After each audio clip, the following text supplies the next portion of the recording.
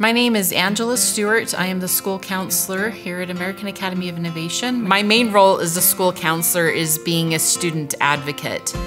So no matter what what the teachers want, what students want, I'm the one person in the school that kind of takes a whole look at what is in the best interest for the student and I try to guide the student into helping them be successful and what's going to be the best for them. I choose to work at AAI because of its flexibility both for parents and students and just the regular educational model what you find in traditional schools is sometimes very rigid and through competency-based education it just provides a lot more flexibility for students to achieve their goals um, in a way that's productive for the student.